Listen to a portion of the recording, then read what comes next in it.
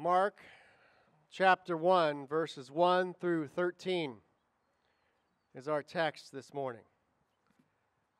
Listen for God's word to you. The beginning of the good news about Jesus the Messiah. As it is written in Isaiah the prophet I will send my messenger ahead of you, who will prepare your way. A voice of one calling in the desert Prepare the way for the Lord, make straight paths for him. And so John the Baptist appeared in the desert region, preaching a baptism of repentance for the forgiveness of sins. The whole Judean countryside and all the people of Jerusalem came out to John. Confessing their sins, they were baptized by him in the Jordan River. John wore clothing made of camel's hair, with a leather belt around his waist. And he ate locusts and wild honey. And this was his message after me comes one more powerful than I, the thongs of whose sandals I am unworthy to stoop down and untie. I baptize you with water, but he will baptize you with the Holy Spirit. At that time, Jesus came from Nazareth in Galilee and was baptized by John in the Jordan. Just as Jesus was coming up out of the water, he saw heaven being torn open and the Spirit descending on him like a dove. And a voice came from heaven You are my Son, whom I love. With you I am well pleased. At once the Spirit sent him out into the desert and he was in the desert 40 days, being tempted by Satan. He was with the wild animals, and angels attended him. The word of the Lord. Thanks be to God.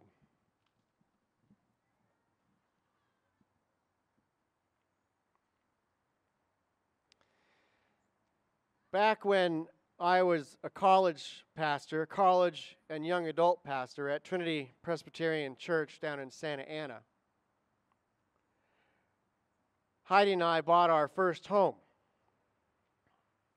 And we had learned a ministry and a lifestyle of hospitality from, well, really from our friends Eric and Beth Keck mostly, but from others as well.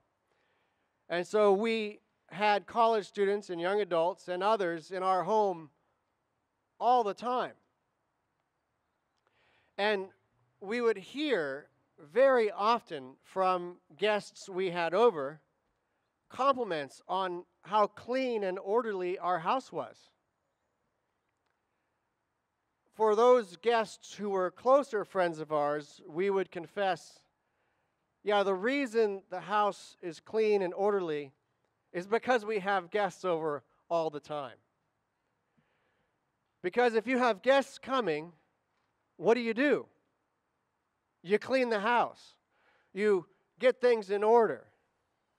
You take that pile of unfolded clean laundry and you find a place to put it so it's out of sight. You take the clutter and the piles of papers and bills and you move them to an area so that it appears that you're all clean and in order, at least that you look like you're clean and ready for guests and your house is in order. People going out to hear John the Baptist were hearing a message to clean house. The crowds that went to the Jordan River to hear John the Baptist preach a message of confession for the forgiveness of sins were a part of a renewal movement And I don't say that just because we've been talking about renewal and I've been talking about renewal here at the church. Pick up any Bible commentary on Mark chapter 1, and you are likely to find a comment that what John had going out in the wilderness at the Jordan River was a renewal movement. And confession and baptism and forgiveness are all marks of renewal. Repentance is a mark of renewal. Those who went out to hear John the Baptist were participating in an awful lot of metaphorical cleaning house, getting their lives in God's order. The question comes, however, what do you do if you've cleaned house for guests and then the guests move in? Well, Heidi and I had that experience. That lifestyle of hospitality opened doors, and we did have guests who moved in, friends who needed a place to stay, people who were in need because of family breakdowns or other problems. We had a number of people who were guests who also ended up being living guests, guests who moved in. And you know what they learned after they moved in? They learned that there were piles of laundry hidden from the normal guests. They learned that there was clutter that often collected on the kitchen table that wasn't there when people just came over. But when you lived in the house, you got to see you got to see the real house. Mark chapter 1 is the story of God as a guest who is moving in. God in Christ is much more than a guest we visit on Sundays. God in Christ is a divine guest who moves into our lives. Almighty God, the Creator, indeed, the Recreator. The Gospel of Mark begins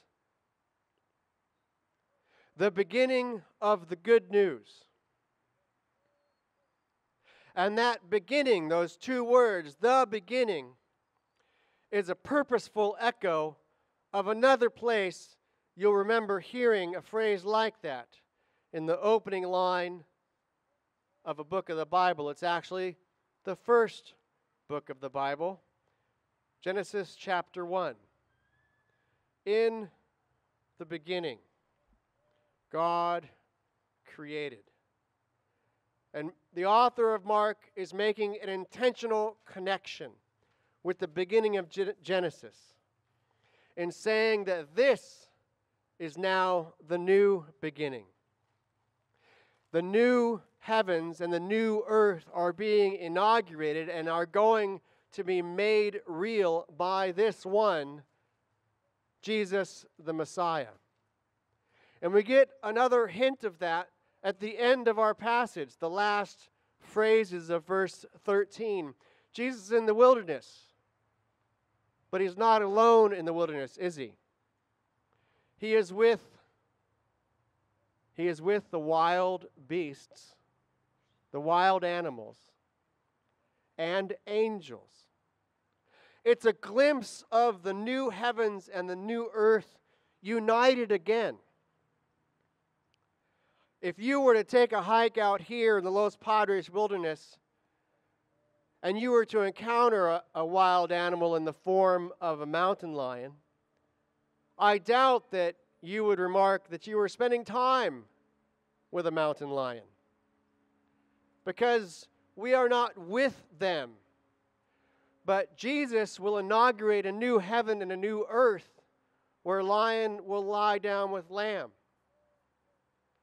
I was given a lesson in the theology of the new heaven and the new earth when I was with Mike Carmel, and we were just about a mile on the other side of the top ridge of the mountains that we can see here in Sutter Canyon, clearing poison oak on a trail that leads to the Franklin Trail summit. And I was complaining at one point of that journey about this cursed plant, poison oak. I told this story before. And the trained theologian, the one who went to graduate school and studied Greek and Hebrew and has been nose and elbow and ears deep in Scripture for these many years, I remarked to Mike, I can't wait for the new heavens and new earth when we won't have any poison oak to give us all this trouble. And our elder Mike Carmel, who has not been to graduate school and seminary or studied original language or had his had in the scriptures and commentaries as his day-to-day job, looked at me and said, "You know, I think there will be poison oak in the new heaven and the new earth, only it won't give us any problems. Maybe, he said, we'll garnish our salads with it. that's a better picture. Jesus was with the wild animals. And not only that, but with angels. The new heaven and the new earth, the new creation that Jesus comes and will return to make, is that uniting of heaven and earth, the separation of which we experience today. And we get these hints and signs, these direct points here in the opening verses of the Gospel of Mark. And as I mentioned, John is there at the Jordan River and he's preaching a renewal movement. And usually, if there's a genuine renewal movement, people who are attending that movement and participating in that movement, they, whether they know it or not, are going to get a lot more than they bargained for. And that will be true here with John's movement. Some of you know that I just the last few days drove up to Spokane, Washington to drop a car off for our children there at Whitworth University. And the last thing I did there before I flew home from Spokane was I drove that little used Toyota Prius to a discount tire center to get winter tires put on it so that there would not be a second accident in the snow for the Johnson family. But as the young man rung up my order for four winter tires and four rims to put those tires on, the, the bill came and it was going to be almost $300 more than anticipated. So I said, no, no. I, that's, that's a lot more than I agreed to when we got our estimate. And he said, well, your estimate was for these simple black steel rims, these wheels, but we're out of them. So we're going to put you in these nice, good looking alloy rims. I said, that's fine. But uh, I didn't agree to this price. And he said, okay, let me talk to the manager. And he came back a moment later we're gonna we're gonna give you these nice alloy rims, but for the the price we quoted you, you're gonna get more than you bargained for. There's no extra cost to what the people receive when they're out there listening to John preach renewal. Many of the Jews of that day were looking and hoping for renewal. Their nation, Israel, was in what we might call maintenance mode. Many of them were looking for national revival. They were not completely subject to the Roman Empire, but they were not completely free and thriving either. They were not going to be restored to the glory days of the kingdom of David and Solomon with the Romans in power. Sure, they were still worshiping at their temple, but Roman power over them was ever present, was oppressive, and was a constant threat. Indeed, the people of Israel experienced a mix of hope. Many of them held out a great deal of hope, but also accommodation to the, thing, the way things were and to getting along with the Romans there was a mix of faith that God would send a Messiah and also resignation that this is the way things are and appear to be the way things will be. That's the case with many churches who are talking about or hoping for renewal is a mix of hope and resignation, a mix of faith and going along with the way things have been, the decline, the lack of life. Maybe we have a little of that going on here as well. But then John the Baptist appeared, and he drew large crowds. And his sermons on repentance, on changing your ways, aligning your lifestyle with God's lifestyle, his preaching of confession and baptism and the forgiveness of sins counterintuitively drew large crowds. It was a renewal movement, and there were true, real marks of renewal with people confessing their sins and committing themselves to lives of repentance. And the crowds were so large, as Mark says, the whole of the Judean countryside came out to see him, all the people of Jerusalem. And with these large crowds and this strong message and this active response to the preaching, there was a renewal movement and there was talk. Perhaps this strange man in clothing with camel's hair and eating a unique diet of locusts and wild honey, maybe this is the Messiah. Maybe John's the one. And thankfully, John lived what he preached. John had a level of humility and a clarity on his call. And the answer was no. His message was one will come after me who is more powerful than I, the thongs of whose sandals I am unworthy to stoop down and untie. John's message was no, I'm not the Messiah, but he is coming. God is coming. The Holy Spirit is coming. I baptize you with water, but he will baptize you with the Holy Spirit. And God arrives in Jesus. And Jesus, like all the people, was baptized by John. Like all the people, Jesus went from Nazareth in Galilee out to see John, to hear John, and be baptized by John. But unlike all the people, when Jesus came out of the water, he saw heaven torn open. He saw God's Holy Spirit descend on him like a dove. Indeed, not just descend on him, but the Greek in Mark is descend into him.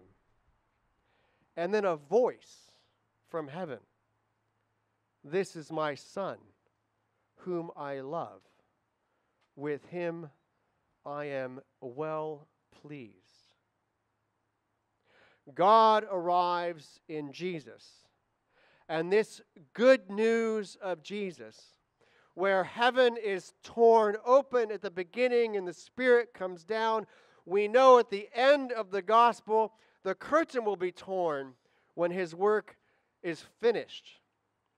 Here at the beginning, the Spirit comes, and on the cross, the work of God's Son will be finished. And another tearing will happen, this time, the tearing of the curtain in the temple. The good news of Jesus Christ is that in Christ and through faith in Christ, trusting in Christ as Savior, anyone can become a beloved child of God. That voice of heaven can be for any of us. You are my child, my son or my daughter, who I love and even more. In Christ, we hear from God that He is pleased with us, that we have come to His Son and received Him as our Savior and are submitting to Him as our Lord and entering into the renewal movement of Jesus Christ. New life. But like every renewal movement, it is not only new life in Christ, it is eternal life in Christ. We get much more than we bargained for. Now, I preach to you who come to the parking lot most every Sunday. I can't see in all the cars, but I imagine most all of you, perhaps every one of you, have already believed. You've already confessed Jesus as your Savior, your need for Him, and His atoning work, His forgiveness of your sins. And you've committed yourself to a lifestyle of confession and repentance. You've entered into a lifestyle of forgiveness, a lifestyle of hearing God say to you in a thousand million ways, I love you. You're my daughter or my son. With you, through Christ, I am well pleased. And if you have not, if you have not received that message, or if you have neglected it and it has a great deal of dust on it, you are invited to receive it again, to place your trust, your faith, indeed, your whole life, more than you bargained for, in Jesus Christ as your Savior, and to begin a life of renewal, of confession and repentance and forgiveness and filling with God's Holy Spirit. Jesus was sent then into the desert. And we know in the rest of this gospel, he'll be sent into ministry. And we know that at the end, he will finally be sent to the cross. And as Christians, as little Christs, we are sent. We are sent also to the desert, to times and places of renewal. We are sent into ministry, as our mission statement says, to share the love of Christ with the world, and we are sent to proclaim the message, the message of the cross. We are sent to believe and to lead others into belief that on the cross, Christ has died for us. We are going to, after the Lord's Supper, sing a hymn. It's one we've sung before. We're not super familiar with it. The tune is easy or so I've been told. And it's preaching to us Go, my children, go, my children, go, my children. We too in Christ are sent. Go with my blessing, never alone. Go with sins forgiven, at peace and pure. How much I love you and what I can cure. God says, I have made you mine forever. Here my Spirit's power fills you. Go, my children, go, my children, go, my children. And we will go. We have gathered and worshiped together here. And we are called to go and share Christ's love with the world and to keep the message clear God in Christ, Christ crucified, Christ raised. Faith and trust in Him to get more than you bargained for, renewal in this life, and life eternal as well. Called to make disciples. If you wear the title Christian, you have gotten more than you bargained for. God, as a guest, is not just visiting, and neither are you. God has moved into your life. You have moved into God's life. God does this through the Holy Spirit, and it's preparing for a time when there will be a new heavens and a new earth. I recognize, in fact, I was just telling a college student recently, this is what we would call a big ask.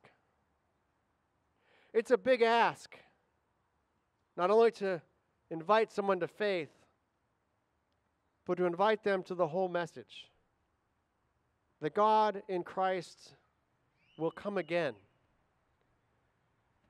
In the beginning, God created.